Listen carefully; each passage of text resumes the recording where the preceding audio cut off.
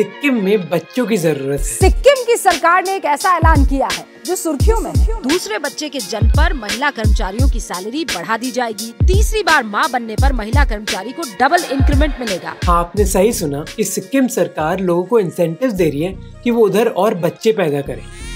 और ये हमारे लिए बहुत सरप्राइजिंग होना चाहिए क्योंकि एक ऐसे टाइम पर हो रहा है जब इंडिया पूरी दुनिया की सबसे ज़्यादा पॉपुलेटेड कंट्री बन गई है। हम पॉपुलेशन कंट्रोल के बारे में कई टाइम से सुनते आ रहे हैं। हम दो हमारे दो जैसे स्लोगन्स आपने पढ़े होंगे। दो बच्चे हैं मीठी खीर उससे ज़्यादा बाबा सिर टीवी शोज़ और एड्स भी इस चीज़ के बारे में बात करते हैं। मेकअप बॉक्स में कंडोम और गर्भ निरोधक ये वीडियो था मध्य प्रदेश से जहाँ मध्य प्रदेश के झबुआ डिस्ट्रिक्ट में स्टेट हेल्थ डिपार्टमेंट ने एक बड़े से शादी के इवेंट में कॉन्डम्स डिस्ट्रीब्यूट करे लोगों को फैमिली प्लानिंग के बारे में समझाने के और ये कई स्टेट्स में हो रहा है उत्तर प्रदेश हो। उत्तर प्रदेश में जनसंख्या नियंत्रण के लिए कानून की तैयारियाँ तेज हो गई हैं। या फिर बिहार। ना समझी की या जल्दी की तो मुश्किल हो जाएगी।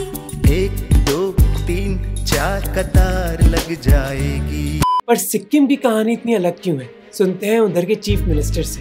तो क्योंकि अभी अगर हम लोग ऐसा काम नहीं करेंगे तो फिर इन मतलब इन फ्यूचर में प्रॉब्लम हो जाएगा। बेसिकली सिक्किम के चीफ मिनिस्टर को टेंशन है इस मैप की। सिक्किम की फर्टिलिटी रेट बस 1.1 है जबकि मध्य प्रदेश और बिहार जैसे स्टेट्स में ये दो और तीन के करीब है। तो फर्टिलिटी रेट इतनी कम हुई क्यों सिक्किम में? और सरकार इतनी टेंशन में क्यों है इस चीज़ के बारे में? इसी के बारे में मैं आपको बताना चाहता हूँ इस वीडियो में। आप में से कई लोगों को याद होंगे लेजेंडरी एक्टर पृथ्वीराज कपूर जिन्होंने मुगले आज़म में अकबर का रोल निभाया था। तुम्हारे काबिल नहीं। उनके परिवार से कई एक्टर्स निकले हैं। यह है उनका फैमिली ट्री पृथ्वीराज कपूर के छह बच्चे थे जिनमें से एक थे राज कपूर। राज कपूर के पाँच जिनमें से एक थे ऋषि कपूर। ऋषि कपूर के दो जिनमें से एक थे रणबीर कपूर। और रणबीर कपूर का आलिया भट्ट के साथ एक बच्चा है। आप समझ गए होंगे कि पॉइंट क्या है। पॉइंट ये है कि फर्टिलिटी रेट कपूर खानदान में कम हुई है। और ये बस उनके खानदान में नहीं हुआ, ये हमारे पूरे देश में हुआ है। हाँ उसके ग्रेट ग्रैंडफादर के 19 बच्चे थे। वैसे 1964 में इंडिया की फर्टिलिटी रेट थी करीब छह, और आज इंडिया की फर्टिलिटी रेट करीब दो है। इसका मतलब है कि ऑन एवरेज हमारे देश में एक महिला दो बच्चे पैदा कर रही है। और जैसे हमने देखा कि ये फर्टिलिटी रेट हर स्टेट की अलग है। सिक्किम की बस 1.1 है, जो पूरे देश में सबसे कम है। फर्टिलिटी रेट के मुकाबले सिक्किम सिंगापुर की तरह दिखता है। तो आपके मन में सवाल ये होगा कि ये फर्टिलिटी रेट इतनी कम है क्यों? इसके पीछे तीन कारण है। कैन वी हैव एक प्लीज़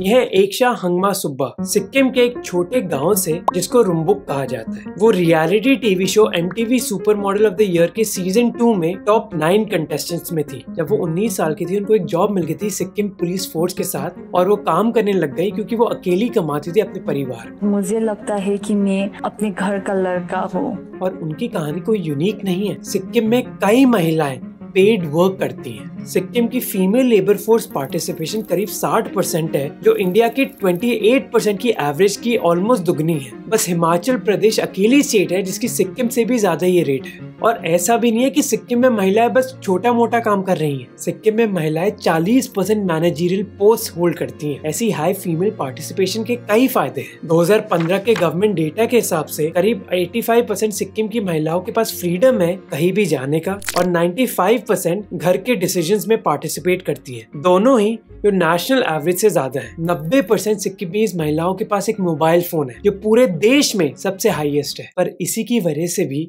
फर्टिलिटी रेट सिक्किम में कम है। कई डेवलप्ड कंट्रीज़ की स्टडीज़ ने दिखाया है कि वर्कफोर्स में विमेन पार्टिसिपेशन और फर्टिलिटी रेट का एक उल्टा रिलेशनशिप है। विंकेलिया भुटिया जो एक असिस्टेंट प्रोफेसर है, सिक्किम गवर्नमेंट कॉलेज के डिपार्टमेंट ऑफ़ सोशियोलॉजी में, वो कहती है कि सिक्किम में कई वर्किंग मदर्स एक दूसरा बच्चा नहीं चाहती। उनके लिए बच्चों की देखभाल करना मुश्किल हो जाता है और कईयों के लिए अपनी जॉब छोड़ना इतना आसान नहीं है। इसी वजह से वो कम बच्चे प्रेफर करती है। और इस फीमेल पार्टिसिपेशन की वजह से एक और चीज़ हो रही है सिक्किम में। पेमा, जो गैंगटॉक में रहती हैं, वो कहती है कि पिछले चार साल उनके लिए फिजिकली और इमोशनली बहुत चैलेंजिंग रहे वो उनचालीस साल की एक वर्किंग मदर है पर उनको बहुत मुश्किल हो रही है प्रेग्नेंट होने में। वो कहती है कि मैं सिक्किमीज भुटिया कम्युनिटी से हूँ, जहाँ ये माना जाता है कि महिलाओं के पास बहुत अच्छी फर्टिलिटी है। मेरी दादी, जिनके आठ बच्चे थे, उनका आखिरी बच्चा चालीस साल की उम्र में हुआ था। इसीलिए वो भी मानती थी कि वो भी बहुत आसानी से प्रेग्नेंट हो जाएँगी। पर कई बार फर्टिलिटी क्लिनिक्स जाकर और कई डॉक्टर्स को देखकर अब उन्होंने हार मान ली है। सवाल यह है कि सिक्किम की महिलाएँ इतना लेट क्यों वेट कर रही है प्रेग्नेंट होने के लिए? रुचि छेत्री, जो एक फर्टिलिटी एक्सपर्ट है गैंगटॉक में, वो कहती है कि इसका कारण है कि अब महिलाएँ लेट शादी कर रही हैं। विनकेला भुटिया ने कहा कि अब लड़कियाँ भी लड़कों की तरह हायर एजुकेशन परसू कर रही हैं और करियर पर फोकस करना चाहती हैं। I love my job in सब चीज़ों के साथ में अपना सपने को भी जीना चाहती हूँ।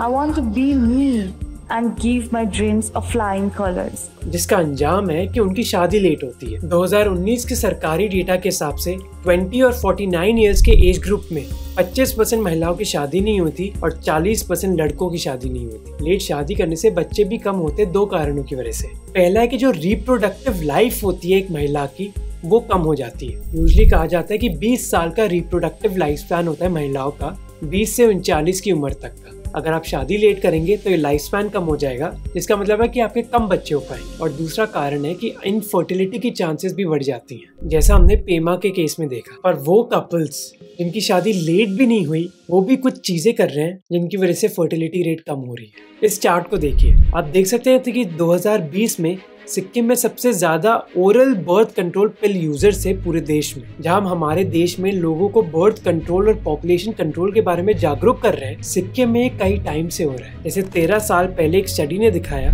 कि 98 परसेंट बच्चों को उधर फैमिली प्लानिंग की नॉलेज थी और 86 परसेंट ने कॉन्ट्रसेप्टिव के बारे में सुना था। इस नॉलेज की वजह से ही करीब 66 परसेंट मैरिड महिलाएँ और 60 परसेंट मैरिड मर्द या तो बच्चे नहीं चाहते या फिर उन्होंने या फिर उनके पार्टनर ने स्टेरिलाइजेशन कर ली है। इसका मतलब है कि वो और बच्चे नहीं करेंगे। ऐसे ही सब कारणों की वजह से उधर फर्टिलिटी रेट 1.1 है। अब हमारे देश में कई लोग मानते हैं कि पॉपुलेशन कंट्रोल करना एक बहुत ज़रूरी चीज़ है। पर इतनी लो फर्टिलिटी रेट होना एक बड़ी प्रॉब्लम भी बन सकती है। और इसको समझाने के लिए मैं आपको जापान का एग्ज़ाम्पल देना चाहता हूँ, जिसकी फर्टिलिटी रेट सिक्किम की तरह ही है 1.2 ये एक अबैंडन घर है जापान का।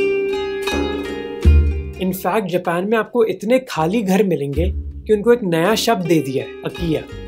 आपको लगेगा कि ये प्रॉब्लम बस जापान के गाँवों में होती है। टोक्यो में करीब 10 परसेंट घर अबैंडेंड है। अबैंडेंड मतलब उन घरों में कोई रहता नहीं है। और ये सिचुएशन बदते बदतर होने वाली है। नोम्यूरा रिसर्च इंस्टीट्यूट के हिसाब से 2030 तक 33 परसेंट घर जापान के या तो खाली हो जाएँगे या फिर अबैंडन हो जाएँगे। और प्रॉब्लम क्या है कि जापान में फर्टिलिटी रेट बहुत कम हो रही है। 1970s से ही ये फर्टिलिटी रेट इतनी कम हो रही थी और आज जाके ये 1.2 है। जब फर्टिलिटी रेट 2.1 होती है, उसको रिप्लेसमेंट रेट कहा जाता है। जिसका मतलब है कि अगर किसी भी देश की फर्टिलिटी रेट 2.1 होगी तो उसकी पॉपुलेशन कांस्टेंट रहेगी। जितने लोग मर रहे हैं, उतने ही बच्चे पैदा हो रहे हैं। अगर 2.1 से ज़्यादा होगी तो पॉपुलेशन बढ़ेगी।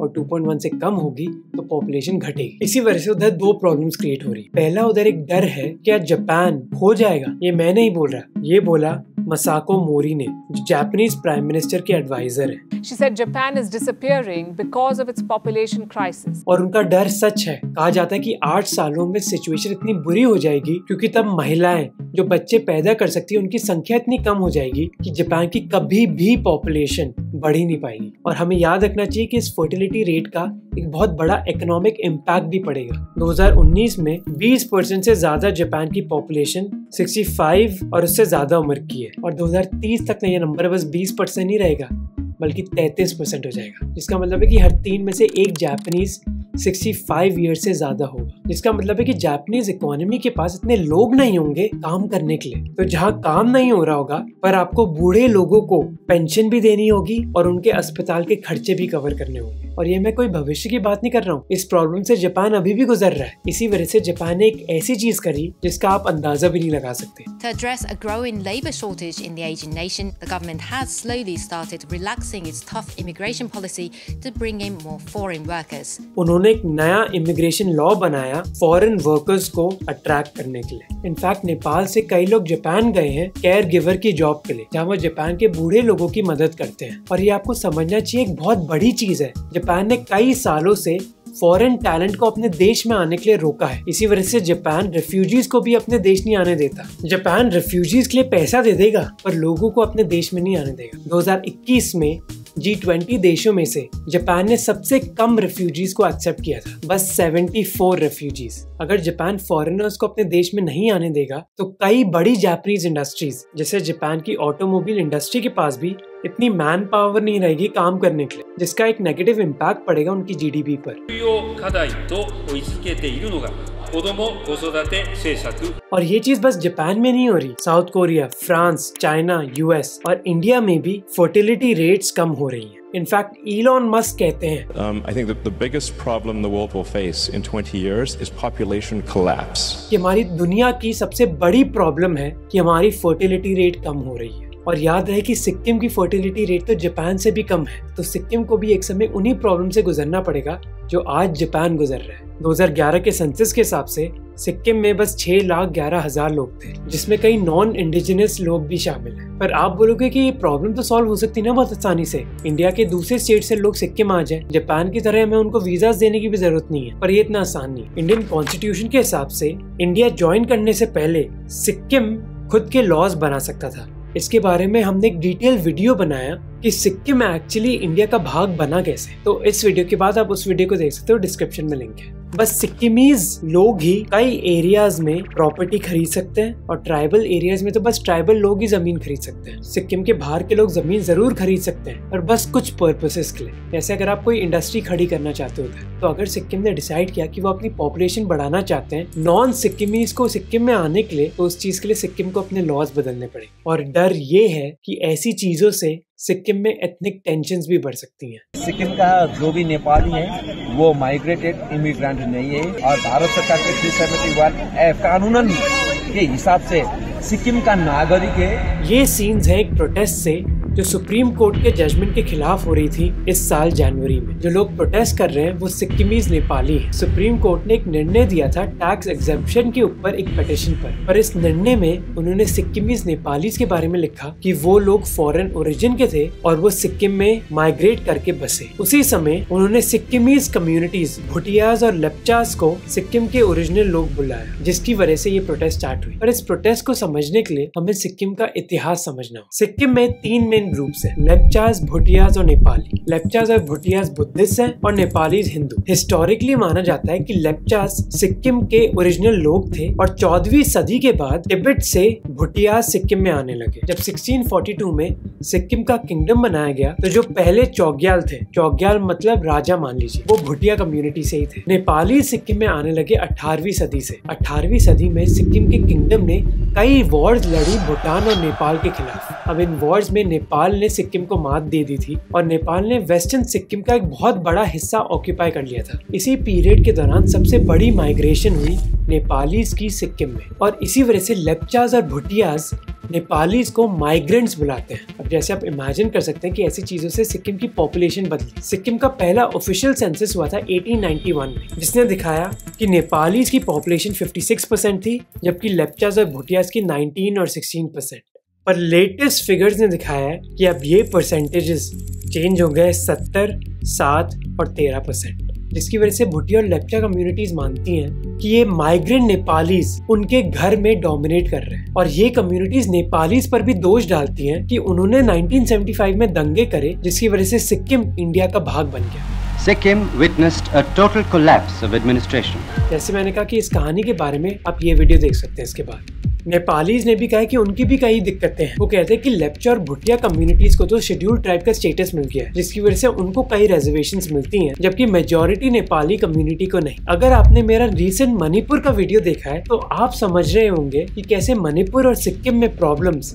सिमिलर है। सिक्किमीज नेपाली कम्युनिटी ये भी कहती है कि उनके खिलाफ भेदभाव होता है। वो ये भी कहते हैं कि उनके पास इतनी ज़मीन नहीं है भुटिया और लेप्चास के कंपैरिजन से। जबकि भुटिया और लेप्चास का एक और डर है। अगर आप सिक्किम की फर्टिलिटी रेट और डिटेल में देखोगे तो वो कहते हैं कि एस सी और ओबीसी की फर्टिलिटी रेट करीब वन है। जबकि वो कहते हैं कि नेपाली कम्युनिटी की फर्टिलिटी रेट ज़्यादा है। अब ये ज़रूर है कि इन सारी कम्युनिटीज की पॉपुलेशन गिरेगी सिक्किम में, पर लेप्चाज और भुटियाज की पॉपुलेशन ज़्यादा गिरेगी। इसका मतलब है कि नेपालीज की डोमिनेशन सिक्किम में और बढ़ सकती है। जो एग्जैक्टली प्रॉब्लम लगती है मणिपुर की तरह। और आप में से 20 लाख लोग जिन्होंने ये वीडियो देखा है, आप जानते हैं कि मणिपुर में हो क्या रहा है तो एक तरफ़ है हिल के लोग, जैसे कुकी और नागा ट्राइब्स और दूसरी तरफ़ है वैली के लोग, जो है मैतीस। और ये एक कारण है जिसकी वजह से इन ग्रुप्स के बीच में इतनी प्रॉब्लम्स क्रिएट होती है। इसी वजह से सरकार कई स्टेप्स ले रही है। जैसे जिक्मे नोरबू भाटिया और उनकी बीवी सेरिंग दिक्की अपना पहला बच्चा एक्सपेक्ट कर रहे हैं शादी के पाँच साल बाद। इन दोनों के तीन मिसकैरेजेस हुए और वो बहुत बार डॉक्टर के पास गए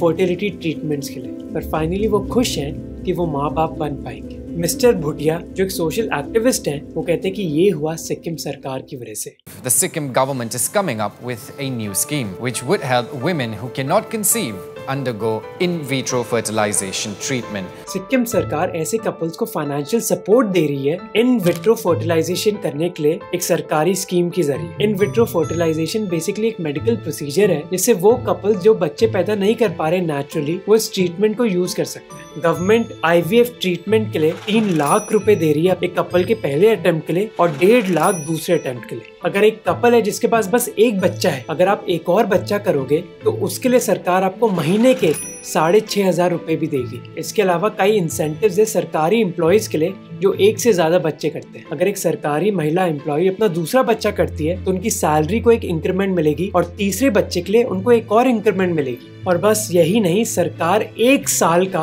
पेड मटर्निटी लीव भी देगी और एक महीने की पेड पटर्निटी लीव भी देगी। इसके अलावा पहले साल के लिए आपको एक अटेंडेंट भी दिया जाएगा, जो आपकी बच्चे की देखभाल कर सके। पर सिक्किमीज लोगों का एक मिक्स रिएक्शन रहा है इन पॉलिसीज़ के बारे में। अपर्णा छेत्री, जो 40 साल की सिविल सर्वेंट है, वो अपने छह महीने की बच्ची के साथ खेल रही थी। और इसी समय किसी ने पूछा कि क्या आपका बच्चा एक इंजेक्शन से हुआ है? ये छह साल की बच्ची अपर्णा का दूसरा बच्चा है, जिनको उन्होंने कंसीव किया आईवीएफ ट्रीटमेंट से। पर सिक्किम के समाज में कई लोग ये मानते हैं कि वो बच्चे जो आईवीएफ ट्रीटमेंट से होते हैं, वो प्लास्टिक बॉक्सेस में बनते हैं, या फिर वो ऐसे बच्चे हैं जो माँ बाप के हैं ही नहीं। और ऐसे सवाल की क्या आपका बच्चा एक इंजेक्शन से हुआ है, अपर्णा जैसे पेरेंट्स को अच्छा नहीं लगता। वो कहती कि मैं उनको कैसे बताऊँ कि ये मेरा बच्चा है? मुझे कई इंजेक्शन लगाने पड़े थे जो बहुत ही पेनफुल थे, पर नौ महीने के लिए मेरी बच्ची मेरी बॉडी के अंदर थी और ना किसी रेफ्रिजरेटर में। शंकर देव धाकल, जो सिक्किम के एक सरकारी ऑफिशियल हैं, वो कहते हैं कि उधर की पॉपुलेशन को इंक्रीज करने के लिए उनको समाज की सोच बदलनी होगी। अगर वो सोच नहीं बदलेंगे तो कई लोग ऐसे फाइनेंशियल स्कीम्स को नहीं यूज़ करेंगे। सिक्किम के चीफ मिनिस्टर के हिसाब से, जनवरी 2023 तक 38 महिलाओं ने सरकारी स्कीम को यूज़ किया और उनमें से कुछ तो माए भी बन गई। रुचि छेत्री, जो एक आईवीएफ स्पेशलिस्ट हैं, वो कहती हैं कि जो सरकार ने निर्णय लिए हैं, वो बहुत अनोखे हैं हमारी प्रॉब्लम्स को सॉल्व करने के लिए। पर वो ये ज़रूर मानती कि जैसे हम समाज में इस चीज़ के बारे में बात करेंगे, लोग आईवीएफ ट्रीटमेंट से इतना भागेंगे नहीं। और होपफुली सिक्किम की एक बहुत बड़ी प्रॉब्लम सॉल्व हो जाएगी। पर हमें ये भी समझना चाहिए कि ये बस सिक्किम की प्रॉब्लम नहीं है। इस मैप को देखिए वापस। इंडिया की फर्टिलिटी रेट टू है, जबकि रिप्लेसमेंट रेट 2.1 है। यानी कि थोड़े टाइम के बाद इंडिया की पॉपुलेशन भी कम होने लग जाएगी। इनफैक्ट माना जाता है कि 2064 में इंडिया की पॉपुलेशन 1.7 बिलियन होगी और उस समय के बाद ये पॉपुलेशन गिरने लग जाएगी। आप में से कुछ लोग बोलोगे कि इसमें डरने की क्या बात है? करोड़ों लोग हैं हमारे देश में। हमें और लोग नहीं चाहिए। पर ऐसी ही सोच चाइना की भी थी। जब उन्होंने वन चाइल्ड पॉलिसी लॉन्च करी। And from 1980 through 2015, China implemented what is known today as the one child policy. और अब चाइना में कई लोग डरे हुए हैं कि उनकी पॉपुलेशन कम हो रही है। पॉपुलेशन फाउंडेशन ऑफ़ इंडिया की पूनम मुट्रेजा कहती हैं कि 30 सालों में हम भी शायद ऐसी ही प्रॉब्लम से गुजर रहे होंगे जहाँ हमारे देश में करोड़ों बूढ़े लोग होंगे और शायद इतने लोग ना हो उनकी देखभाल के लिए। एक बहुत बड़ा डर जो इंडियन सरकार में है, वो है कि अमीर बनने से पहले इंडिया बूढ़ा ना हो जाए। बचपन से ही इंडियन बच्चों को डेमोग्राफिक डिविडेंड के बारे में बताया जा रहा है कि हमारे देश में इतने यंग लोग हैं जो हमारी इकोनॉमी बढ़ा सकते हैं। पर एक समस्या है कि कई यंग लोग काम नहीं कर रहे। इनफैक्ट इंडिया की यूथ अनएम्प्लॉयमेंट रेट बहुत हाई है। जब डेमोग्राफिक डिविडेंड की बात होती है ये एक बहुत गोल्डन अपॉर्चुनिटी होती है। एक ऐसी अपॉर्चुनिटी है जो कई देशों को नहीं मिलती। ये वो समय होता है जब किसी देश की वर्किंग पॉपुलेशन डिपेंडेंट पॉपुलेशन से ज़्यादा होती है। इसका मतलब है कि कई लोग काम कर रहे हैं, पर बहुत कुछ ही लोग हैं जो इतना काम नहीं कर रहे और जो बूढ़े हैं। ये गोल्डन पीरियड स्टार्ट हुआ हमारे लिए 2018 में, पर ये गोल्डन पीरियड हर समय नहीं चलेगा। इनफैक्ट ये खत्म होएगा 2055 में। तो बेसिकली हमारे पास करीब 40 साल है इस चीज़ की एडवांटेज उठाने के लिए। कई एशियन इकोनॉमीज जैसे साउथ कोरिया जापान और चाइना ने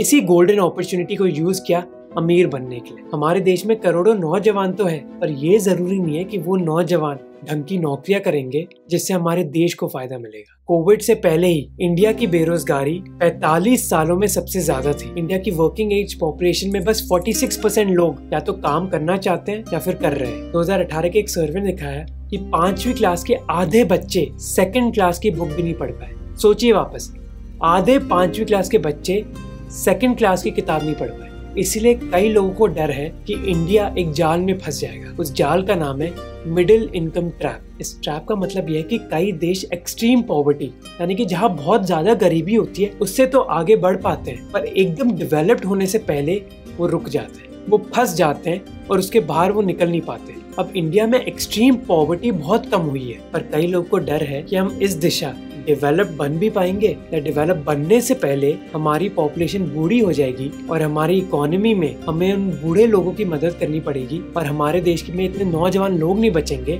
जो काम कर रहे होंगे। 2017 में एक स्टडी ने कहा था कि इंडिया एक केपेबिलिटी ट्रैप में है। इस ट्रैप का कहना है कि हमें अपनी मंजिल पता है और इस मंजिल का रास्ता क्या होगा ये भी पता है। बस हमारे पास स्किल्स नहीं है अपनी मंजिल तक पहुँचने के लिए। और इन स्किल्स के लिए बहुत ज़्यादा ज़रूरी है कि हमारी सरकार एजुकेशन पर फोकस करे, ताकि हमारा देश बूढ़े होने से पहले अमीर बन जाए। ये एक यूनिक वीडियो था, बहुत ज़्यादा रिसर्च लगी तो अच्छा लगा तो प्लीज़ सब्सक्राइब करना, ताकि चैनल ग्रो करता रहे। और अगर आपको ये वीडियो अच्छा लगा तो इन दो वीडियो को ज़रूर देखना। पहला वीडियो है सिक्किम के इतिहास के बारे में, जहाँ आप ये समझ पाओगे कि सिक्किम इंडिया का हिस्सा बना कैसे। और दूसरा वीडियो है मणिपुर के बारे में, कि मणिपुर में चल क्या रहा है और वो कितनी बड़ी प्रॉब्लम है हमारे देश के लिए। तो इन दोनों वीडियोस को ज़रूर देखना।